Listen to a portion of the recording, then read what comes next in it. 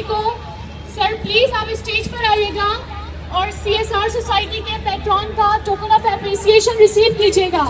खड़ा हो